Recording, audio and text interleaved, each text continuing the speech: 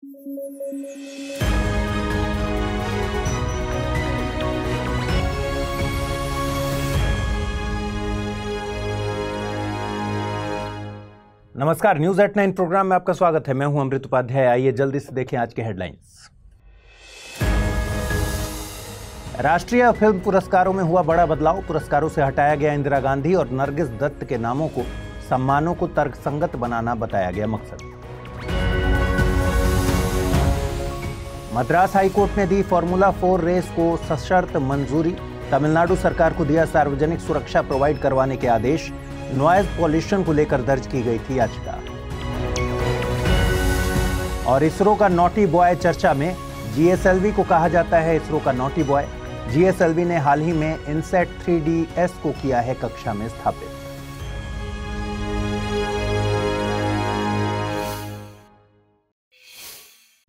आइए खबरों की शुरुआत करें। खबर आई है, राष्ट्रीय फ़िल्म पुरस्कारों में बड़े बदलाव की। दरअसल हाल ही में सूचना और प्रसारण मंत्रालय ने पूर्व प्रधानमंत्री इंदिरा गांधी और दिवंगत अभिनेत्री नरगिस दत्त के नामों को राष्ट्रीय फ़िल्म पुरस्कार से हटा दिया है। दरअसल मंत्रालय द्वारा गठित एक समिति की सिफारिशों के आधार पर और भी कई अन्य बदलावों की घोषणा की गई है। बदलावों का मकसद सम्मानों को तर्कसंगत बनाना बताया जा रहा है। आइए समझते हैं, क्या है पूरी खबर। जो बदलाव किया गया है, उसको आप एग्ज़ाम्पल से समझिए। अब किसी निर्देशक की सर्वश्रेष्ठ डेब्यू फ़िल्म के लिए इंदिरा गांधी पुरस्कार को अब केवल निर्देशक की सर्वश्रेष्ठ डेब्यू फ़िल्म कहा जाएगा। आपको बता दें कि 28वें राष्ट्रीय फ़िल्म पुरस्कार 1980 के दौरान इंदिरा गांधी का नाम इस पुरस्कार से जोड़ा गया था। इसके अलावा राष्ट्रीय एकता पर सर्वश्रेष्ठ फीचर फ़िल्म के लिए नरगिस दत्त पुरस्कार को अब राष्ट्रीय सामाजिक और पर्यावरणीय मूल्यों को बढ़ावा देने वाली सर्वश्रेष्ठ फीचर फ़िल्म कहा जाएगा। नरगिस दत्त का नाम 1965 में राष्ट्रीय फ़िल्म पुरस्कारों के तेरहवें संस्करण के दौरान जोड़ा गया था। आपको याद होगा कि पिछले साल 2021 के राष्ट्रीय फ़िल्म पुरस्कारों के उनहत्तरवें संस्करण में विवेक अग्निहोत्री की द कश्मीर फाइल्स ने नरगिस दत्त पुरस्कार जीता था, जबकि इंदिरा गांधी पुरस्कार विष्णु मोहन की उनकी मलयालम फ़िल्म मेप्पडियन के लिए मिला था। हालिया बदलाव में पुरस्कारों के लिए दी जाने वाली राशि को भी संशोधित किया गया है। उदाहरण के लिए, सिनेमा के क्षेत्र में जीवन भर के योगदान के लिए दिए जाने वाले दादा साहब फाल्के पुरस्कार की पुरस्कार राशि 10 लाख रुपए से बढ़ाकर 15 लाख रुपए कर दी गई है। स्वर्ण कमल और रजत कमल पुरस्कारों के लिए पुरस्कार राशि को क्रमशः तीन लाख रुपए और दो लाख रुपए तक बढ़ा दिया गया है, जबकि पहले नकद पुरस्कार पचास हज़ार रुपए से दो लाख रुपए के बीच में थे। इसी के साथ सर्वश्रेष्ठ एनिमेशन फ़िल्म और सर्वश्रेष्ठ स्पेशल इफेक्ट्स के पुरस्कारों के लिए एक नई कैटेगरी बनाई गई है। इसको अब सर्वश्रेष्ठ एवीजीसी यानी एनिमेशन, विजुअल इफेक्ट्स, गेमिंग और कॉमिक्स फ़िल्म कहा जाएगा। इसके अलावा सर्वश्रेष्ठ स्क्रिप्ट के लिए एक नई श्रेणी की भी शुरुआत की गई है। इसी के साथ संविधान की अनुसूची आठ में निर्दिष्ट प्रत्येक भाषा में सर्वश्रेष्ठ फीचर फ़िल्म के पुरस्कार का नाम बदलकर सर्वश्रेष्ठ फीचर फ़िल्म कर दिया गया है। चलिए ये भी जानते हैं कि इन परिवर्तनों के पीछे कौन सी समिति है। जैसा कि हमने पहले बताया आपको कि नए नियम सूचना एवं प्रसारण मंत्रालय द्वारा सम्मानों को तर्कसंगत बनाने के उद्देश्य से गठित एक समिति की सिफारिशों के आधार पर लागू हुए हैं। समिति की अध्यक्षता सूचना और प्रसारण मंत्रालय में अतिरिक्त सचिव नीरजा शेखर ने की और इसमें फ़िल्म निर्माता प्रियदर्शन और विपुल अमृतलाल शाह, केंद्रीय फ़िल्म प्रमाणन बोर्ड के प्रमुख प्रसून जोशी, साथ ही आई यानी सूचना और प्रसारण मंत्रालय के संयुक्त सचिव पृथुल कुमार भी शामिल थे। आइए अब थोड़ी सी चर्चा राष्ट्रीय फ़िल्म पुरस्कारों की भी कर लेते हैं। ये पुरस्कार पहली बार उन्नीस में भारत सरकार द्वारा भारतीय कला और संस्कृति को प्रोत्साहित करने के लिए और राष्ट्रीय स्तर पर भारत भर में बनी फ़िल्मों को सम्मानित करने के मकसद से प्रदान किए गए थे। 1973 से फ़िल्म समारोह निदेशालय ने हर साल इस समारोह का संचालन किया है। वहीं जूरी की नियुक्ति फ़िल्म महोत्सव निदेशालय द्वारा की जाती है।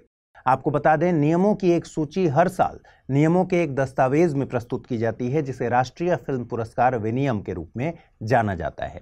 पात्रता के मानदंड में भी कई खंड शामिल हैं और पुरस्कारों को तीन खंडों में वर्गीकृत किया गया है। फीचर फ़िल्में, गैर फीचर फ़िल्में और सिनेमा पर सर्वश्रेष्ठ लेखन। सभी विजेताओं को एक पदक, एक नकद पुरस्कार और योग्यता प्रमाण पत्र से सम्मानित किया जाता है। कमेंट करके बताइए कि क्या सरकार का ये निर्णय वाकई समय की ज़रूरत थी या ये आपको राजनीति से इन्फ्लुएंस्ड फैसला लगा? मद्रास उच्च न्यायालय ने हाल ही में चेन्नई में formula four night street car race के आयोजन पर रोक लगाने से मना कर दिया। इसके साथ ही तमिलनाडु सरकार को सार्वजनिक सुरक्षा के उच्चतम स्तर पर ध्यान देने और जनता को किसी भी असुविधा से बचने जैसी कुछ शर्तों के साथ दौड़ आयोजित करने की अनुमति दे दी है। आइए समझते हैं, क्या है पूरा मामला? सबसे पहले ये समझिए कि फॉर्मूला फोर रेसिंग है क्या। देखिए, रेसिंग में अगर फॉर्मूला शब्द का यूज़ होता है तो इसका मतलब कोई ट्रिगोनोमेट्री या केमिस्ट्री या फिजिक्स का फॉर्मूला नहीं होता, बल्कि फॉर्मूला का मतलब होता है रेस के सेट ऑफ़ रूल्स। मतलब रेस से रिलेटेड नियमों का एक सेट तैयार किया जाता है, जिसे फॉर्मूला कहते हैं। फॉर्मूला वन के कुछ अलग नियम होंगे और इसी प्रकार फॉर्मूला फोर के कुछ अलग नियम होंगे। आपके मन में सवाल आ रहा होगा कि ये फॉर्मूला किस चीज़ से रिलेटेड होते हैं। एग्ज़ाम्पल से समझिए कि फॉर्मूला फोर में एक तय स्पेसिफिकेशन का इंजन ही कार में उपयोग किया जा सकता है। ऐसा नहीं है कि आपने टाटा नैनो खरीदी और चल पड़े रेस करने। एक योग्य F I A formula four engine बनने के लिए इंजन को होमोलॉगेशन आवश्यकताओं को पूरा करना होगा। इसका मतलब क्या हुआ? इसका मतलब यह है कि F I A formula four engine को कम से कम दस हज़ार किलोमीटर तक चलना चाहिए और अधिकतम खरीद मूल्य नौ हज़ार पाँच सौ यूरो होना चाहिए। F I A formula four तकनीकी नियमों के अनुसार केवल चार सिलेंडर इंजन की अनुमति है। सामान्य रूप से एस्पिरेटेड और टर्बो चार्ज दोनों इंजनों का यूज़ किया जा सकता है। पावर आउटपुट को 160 bhp पर सीमित किया गया है, लेकिन इंजन डिस्प्लेसमेंट असीमित तय किया गया है। इसी प्रकार कार की हाइट कितनी होगी, लंबाई कितनी होगी, इन सब चीज़ों से ट्रैक की डिज़ाइन तक सब कुछ नियमों के तहत ही किया जाता है। देखिए, फॉर्मूला फोर को F I A formula four या F I A F four भी कहा जाता है। यह जूनियर ड्राइवरों के लिए एक open wheel racing car category है। मतलब ये हुआ कि युवा ड्राइवरों के लिए प्रवेश स्तर की कैटेगरी बनाई गई है। Formula four racing basically kart racing और फॉर्मूला थ्री रेस के बीच के अंतर को पाटने के लिए बनाई गई थी। ये category federation international de automobile द्वारा यानी एफआईए द्वारा मार्च 2013 में बनाई गई थी। FIA मोटर स्पोर्ट के लिए अंतर्राष्ट्रीय मंजूरी और प्रशासनिक निकाय है। अब यही फॉर्मूला फोर रेसिंग चेन्नई में आयोजित की जानी थी। तमिलनाडु सरकार ने एक प्राइवेट कंपनी यानी रेसिंग प्रमोशन प्राइवेट लिमिटेड के साथ मिलकर Chennai formula four racing circuit की योजना बनाई थी।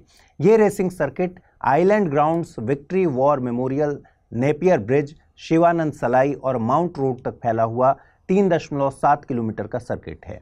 ओरिजिनली यह रेस पिछले साल दिसंबर में होनी थी, लेकिन मिचोंग साइक्लोन के कारण उस समय इसे स्थगित करना पड़ा था।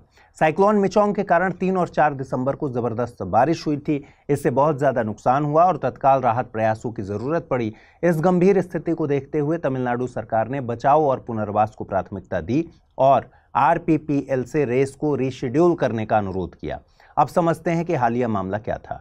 दरअसल इस रेस को लेकर एक जनहित याचिका दायर की गई थी। देखिए, इस रेस सर्किट की लोकेशन के पास में ही मल्टी सुपर स्पेशलिटी अस्पताल है, जो कि सरकारी अस्पताल है, जिसको मद्रास मेडिकल कॉलेज कहते हैं। याचिकाकर्ताओं ने यह दलील दी कि तेज गति वाली फार्मूला रेस कारें भारी मात्रा में शोर पैदा करेंगी, जिससे अस्पताल के मरीजों को असुविधा होगी। लेकिन मद्रास हाईकोर्ट ने सारी दलीलों को दरकिनार कर दिया और रेस आयोजकों से कहा कि रेस सर्किट के चारों ओर पर्याप्त संख्या में साउंड बैरियर लगाइए। इसके साथ न्यायाधीशों ने यह भी आदेश दिया कि रेस के दौरान दर्शकों की सुरक्षा के लिए सभी दर्शकों को आवश्यक सेफ्टी गियर भी प्रोवाइड कराया जाए। कमेंट करके बताइए कि हाई कोर्ट की ऐसी रेस पर निर्णय सही है या फिर गलत।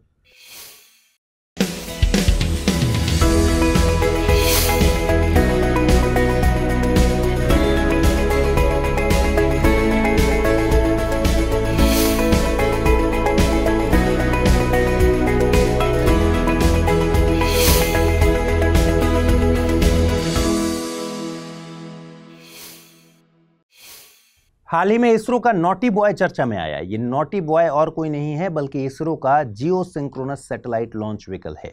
इसरो के अधिकारियों ने कहा कि नोटी बॉय कहा जाने वाला जीएसएलवी अब परिपक्व होकर एक अत्यंत आज्ञाकारी और अनुशासित लड़का बन गया है। तो चलिए, समझते हैं, जीएसएलवी की इमेज एक नोटी बॉय की कैसे बनी और अब जीएसएलवी से क्या उम्मीदें की जा रही हैं। दरअसल हाल ही में भारतीय अंतरिक्ष अनुसंधान संगठन यानी इसरो ने एक नई पीढ़ी के मौसम उपग्रह इनसेट थ्री को लॉन्च किया। इनसेट थ्री का मकसद है पृथ्वी की सतह, वायुमंडल, महासागरों और पर्यावरण की उन्नत निगरानी करना। ऐसा नहीं है कि यह इसरो का कोई पहला मौसम उपग्रह है। देखिए, अंतरिक्ष में ऑलरेडी इनसेट थ्री और इनसेट थ्री मौसम उपग्रह पृथ्वी के चारों तरफ़ घूम रहे हैं। लेकिन हाल ही में लॉन्च किया गया इनसेट थ्री डी मौजूदा दोनों उपग्रहों की क्षमताओं को बढ़ाएगा और भारत की मौसम और जलवायु भविष्यवाणी सेवाओं, प्रारंभिक चेतावनियों और आपदा प्रबंधन सेवाओं को बढ़ावा देगा। लेकिन मज़े की बात यह है कि इस बार की लॉन्चिंग में उपग्रह से ज़्यादा सेंटर ऑफ़ अट्रैक्शन था लॉन्चिंग व्हीकल यानी रॉकेट। आपको बता दें इनसेट थ्री डी उपग्रह अपनी भूस्थैतिक कक्षा तक पहुँचने के लिए जी एस रॉकेट पर सवार हुआ था। इसरो के पास सैटेलाइट को लॉन्च करने के लिए बेसिकली तीन तरह के रॉकेट हैं। ये हैं G S L V P S L V और एल वी एम थ्री ध्यान दीजिए कि एल वी एम थ्री को पहले G S L V M K three कहा जाता था। अब थोड़ा नज़र इनकी परफॉर्मेंस पर डालते हैं। 17 फरवरी 2024 तक जीएसएलवी रॉकेटों ने 16 बार उड़ान भरी।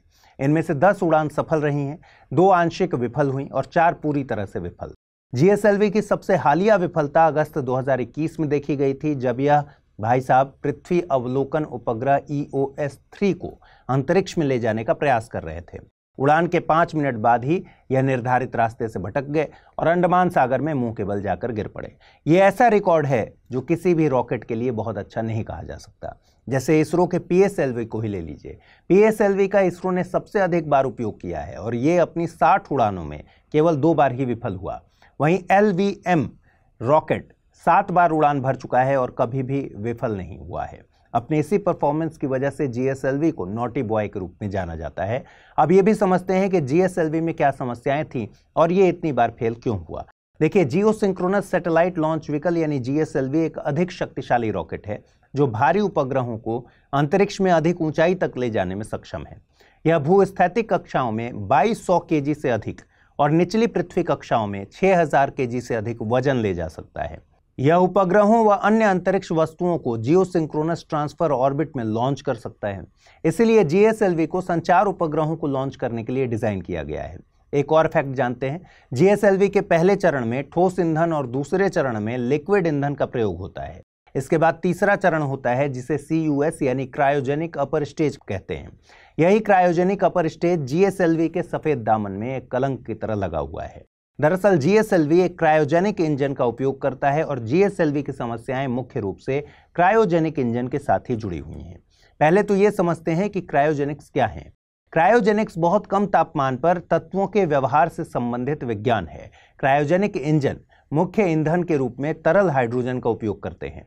हालाँकि, यह केवल बहुत कम तापमान पर, यानी शून्य से लगभग 250 डिग्री सेल्सियस के नीचे ही तरल अवस्था में आता है। अब इस ईंधन को जलाने के लिए जिस ऑक्सीजन की ज़रूरत होती है, वो भी तरल रूप में होना चाहिए। और ऑक्सीजन शून्य से लगभग 90 डिग्री सेल्सियस नीचे तरल अवस्था में होती है।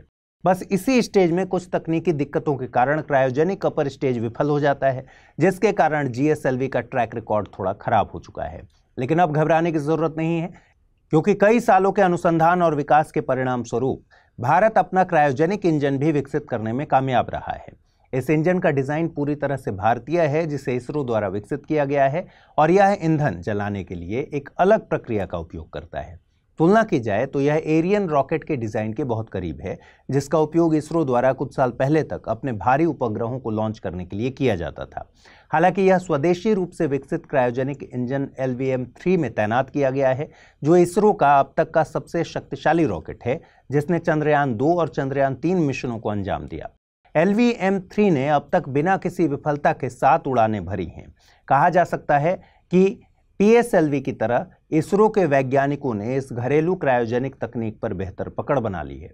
फ़िलहाल हाल ही में हुए जीएसएलवी के सफल प्रक्षेपण ने कुछ समय के लिए जीएसएलवी रॉकेट पर लगे सवाल या निशान हटा दिए हैं, लेकिन कुछ हफ्तों के बाद इसका एक और महत्वपूर्ण टेस्ट होने वाला है। कुछ दिनों बाद जीएसएलवी निसार यानी NASA ISRO synthetic aperture radar उपग्रह को ले जाने वाला है। निसार, इसरो और नासा के बीच अपनी तरह का पहला सहयोग है, जो जीएसएलवी के लिए अब तक का सबसे प्रतिष्ठित मिशन साबित होगा। हाल ही में खबर आई है कि ब्यूबोनिक प्लेग वापस आ गया है। दरअसल हाल ही में अमेरिका के ओरेगन में स्वास्थ्य अधिकारियों ने राज्य में ब्यूबोनिक प्लेग के पहले मामले की पुष्टि की। स्वास्थ्य अधिकारियों के अनुसार व्यक्ति को संभवतः एक बीमार पालतू बिल्ली से ये बीमारी ट्रांसफ़र हो गई है। लेकिन अच्छा ये हुआ कि इस बीमारी का तुरंत पता चल गया और व्यक्ति को इलाज के लिए एंटीबायोटिक्स दे दिए गए। व्यक्ति और बिल्ली के संपर्क में आए लोगों को भी उपचार प्रोवाइड करवा दिया गया है। लेकिन आप यहाँ ब्यूबोनिक प्लेग को हल्के में मत लीजिएगा। ब्यूबोनिक प्लेग 1346 और तेरह के बीच पश्चिमी एशिया, उत्तरी अफ्रीका, मध्य पूर्व और यूरोप में फैला था। ये वो बीमारी है जिससे तेरह और तेरह के बीच यूरोप में 50 मिलियन लोग मारे गए। चौदहवीं शताब्दी में इस महामारी के कारण होने वाली जनसांख्यिकीय तबाही के कारण इसे ब्लैक डेथ के नाम से भी जाना जाता है। तो आइए सबसे पहले समझते हैं कि ब्यूबोनिक प्लेग क्या है। देखिए ब्यूबोनिक प्लेग एक जूनोटिक बैक्टीरिया यर्सीनिया पेस्टिस के कारण होता है।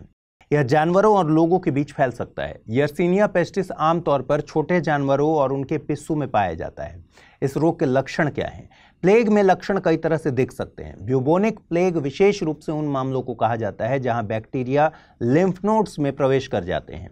इससे बुखार, सिरदर्द, कमज़ोरी और लिम्फ नोड्स की दर्दनाक सूजन होती है और यह आमतौर पर संक्रमित पिस्सू के काटने से होता है। यदि बैक्टीरिया रक्त प्रवाह में प्रवेश कर जाता है तो सेप्टिसेमिक प्लेग होता है। यह अक्सर इलाज न किए गए ब्यूबोनिक प्लेग के बाद होता है। इसमें और अधिक गंभीर लक्षणों को देखा जा सकता है। लेकिन इन सब में न्यूमोनिक प्लेग सबसे खतरनाक है, जैसा कि नाम से पता चलता है। ये तब होता है जब बैक्टीरिया फेफड़ों में प्रवेश कर जाए और इसमें निमोनिया भी हो जाता है। ये बहुत घातक है, क्योंकि अगर इलाज न किया जाए तो इससे जान से हाथ धोने की काफ़ी संभावना होती है। यह प्लेग का एकमात्र रूप है जो संक्रामक बूंदों द्वारा एक व्यक्ति से दूसरे व्यक्ति में फैल सकता है, जो इसे सबसे अधिक संक्रामक भी बनाता है। ब्लैक डेथ के साथ एक और सवाल आता है। ये सवाल है कि क्या वास्तव में ये उत्पन्न कहाँ से हुआ?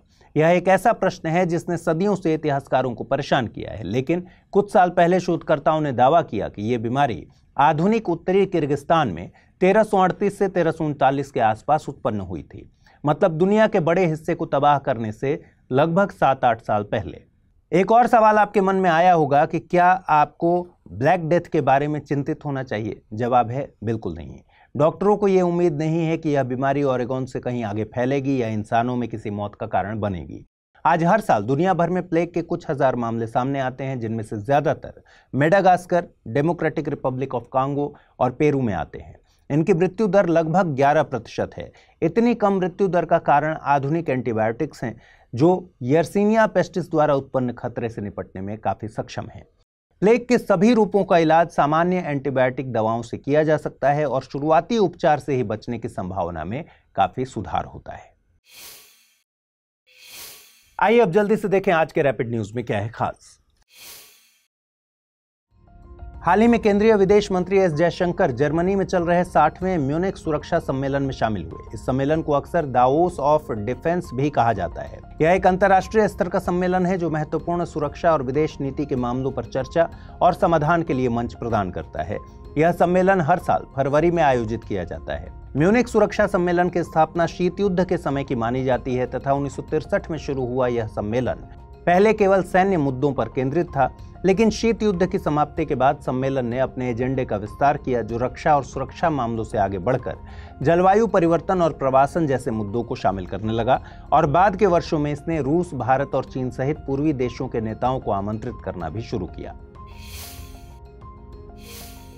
राष्ट्रीय अनुसूचित जाति आयोग ने हाल ही में पश्चिम बंगाल में राष्ट्रपति शासन लगाने की सिफारिश की थी।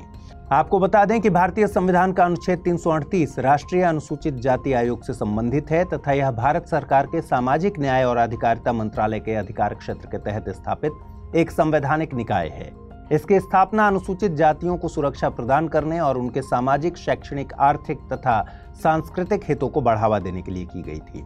पहले अनुसूचित जाति एवं जनजाति के लिए एक ही आयोग था, लेकिन नवासीवें संविधान संशोधन अधिनियम के तहत अनुसूचित जाति और अनुसूचित जनजाति के लिए गठित पूर्ववर्ती राष्ट्रीय आयोग को 2004 में दो अलग अलग आयोगों में बदल दिया गया। पिछले कुछ समय से कालेश्वरम लिफ्ट सिंचाई परियोजना चर्चा में है। हालाँकि यह परियोजना अपनी लागत को लेकर शुरुआत से ही विवाद में रही है और हाल ही में कैग की रिपोर्ट ने भी इस परियोजना को लेकर हुई वित्तीय अनियमितता पर प्रकाश डाला।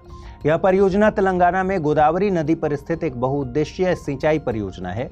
इसके साथ ही यह वर्तमान में विश्व की सबसे बड़ी मल्टी स्टेज लिफ्ट सिंचाई परियोजना भी है। इस परियोजना को विकसित करने का मुख्य मकसद तेलंगाना में बहने वाली गोदावरी और अन्य नदियों के पानी को लिफ्ट करके राज्य को सिंचाई और पेयजल की सुविधा प्रदान करना है और इस परियोजना से लाभान्वित राज्य तेलंगाना, महाराष्ट्र और आंध्र प्रदेश हैं। अंतरिक्ष में बढ़ता कचरा पूरे विश्व के सामने एक बड़ी चुनौती बनता जा रहा है। इसी के समाधान के रूप में विश्व के पहले लकड़ी के उपग्रह को लॉन्च करने का विचार किया जा रहा है। दरअसल, नासा और जापान एरोस्पेस एक्सप्लोरेशन एजेंसी यानी जाक्सा अंतरिक्ष उड़ान संचालन को टिकाऊ बनाने के प्रयास से दुनिया के पहले लकड़ी के उपग्रह लिग्नो सेट प्रोब को अंतरिक्ष में लॉन्च करने पर विचार कर रहे हैं। वैज्ञानिकों का मानना है कि उपग्रह की बायोडिग्रेडेबल प्रकृति पृथ्वी के पर्यावरण को संरक्षित करने में मदद कर सकती है। आज बहुपक्षीय नौसेना अभ्यास मिलन 2024 की शुरुआत हुई। इस अभ्यास का आयोजन 19 से 27 फरवरी तक विशाखापत्तनम में किया जाएगा। यह मिलन अभ्यास का बारहवां संस्करण है, जिसमें लगभग 50 देशों के प्रतिनिधि मंडल हिस्सा लेंगे। आपको बता दें कि यह एक द्विवार्षिक बहुपक्षीय नौसैनिक अभ्यास है, जिसकी शुरुआत भारतीय नौसेना ने उन्नीस सौ पंचानवे में की थी तथा इस अभ्यास की कल्पना मूल रूप से भारत की लुक ईस्ट पॉलिसी के अनुरूप की गई थी। लेकिन बाद के वर्षों में इस अभ्यास में एक्ट ईस्ट पॉलिसी और विभिन्न भागीदार देशों को शामिल किया गया। आइए अब जल्दी से देखें आज के बुलेटिन पर आधारित क्या प्रश्न बन सकते हैं। पहला सवाल है जीएसएलवी मार्क टू के संबंध में निम्नलिखित कथनों पर विचार करें। यह चौथी पीढ़ी का चार चरणों वाला प्रक्षेपण यान है, जिसमें चार तरल स्ट्रैप ऑन है। स्वदेशी रूप से विकसित क्रायोजेनिक उच्च चरण जीएसएलवी मार्क टू का तीसरा चरण है। ऊपर दिए गए कथनों में से कौन सा यह से सही है या है? केवल एक, केवल दो, एक और दो दोनों, कोई भी सही नहीं है। अगला प्रश्न है, दुनिया के पहले लकड़ी के उपग्रह लिग्नोसैट प्रोब को अंतरिक्ष में लॉन्च करने के लिए किन दो अंतरिक्ष एजेंसीज ने हाथ मिलाया है? नासा और जाक्सा नासा और इसरो इसरो और ईएसए e या फिर नासा और ईएसए e आइए देखें पिछले बुलेटिन में क्या सवाल पूछे गए थे, उनके सही जवाब क्या है? पहला सवाल था, निम्नलिखित कथनों पर विचार कीजिए। INSAT three D S satellite को P S L V F fourteen rocket से प्रक्षेपित किया जाएगा। यह एक हाईटेक वेदर सैटेलाइट है। इसका उद्देश्य मौसम की भविष्यवाणी और आपदा चेतावनियों में मदद करना है। उपर्युक्त कथनों के आधार पर सही विकल्प चुनना था। एक, दो, तीन सही हैं, दो, तीन सही हैं, एक और तीन सही हैं, या फिर इनमें से कोई नहीं। सही जवाब है ऑप्शन बी। दूसरा सवाल पूछा गया था, ग्रीन हाइड्रोजन आधारित दुनिया का पहला एयरपोर्ट है, Delhi international airport, Mumbai international airport, Cochin airport, या फिर चेन्नई इंटरनेशनल एयरपोर्ट। सही जवाब है option C, Cochin international airport. तो आज के इस बुलेटिन में इतना ही रखते हैं। कल रात नौ बजे आपसे फिर से मुलाकात होगी। अपना ख्याल रखिए, ठीक से पढ़ाई कीजिए। और अगर आप इस बुलेटिन की पीडीएफ हासिल करना चाहते हैं, Amrit Upadhyay zero zero seven Telegram channel है, जिस पर इसकी पीडीएफ रोज़ाना मिलती है, आज पूछे गए सवालों का जवाब भी कमेंट बॉक्स में देना है और इस बुलेटिन को लाइक भी करना है। नमस्कार।